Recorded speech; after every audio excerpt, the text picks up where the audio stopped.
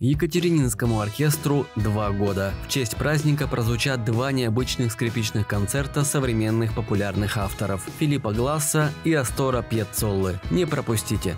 Ельцин-центр приглашает детей провести время с пользой и с удовольствием на занятиях хореографией. Хорошая музыка, возможность выплеснуть свою энергию в движениях, общение со сверстниками – все это привлекает внимание и дарит позитивные эмоции, а также благотворно влияет на психическое развитие ребенка.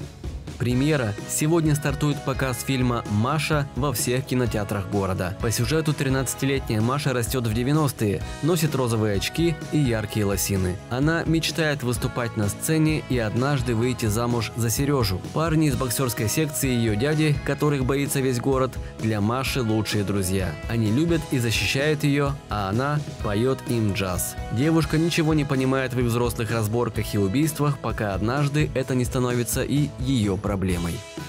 Еще больше анонсов мероприятий можно найти на портале events.ru.